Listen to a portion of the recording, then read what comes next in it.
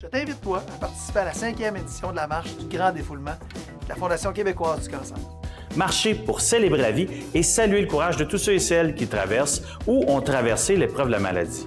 Nous soutenons la mission de la Fondation qui a aidé plus d'un demi-million de personnes depuis sa création. Et croyez-moi, votre contribution individuelle ou en équipe peut faire vraiment toute la différence. Je vous invite à noter ça à votre agenda, à être des nôtres et euh, j'y serai bien entendu.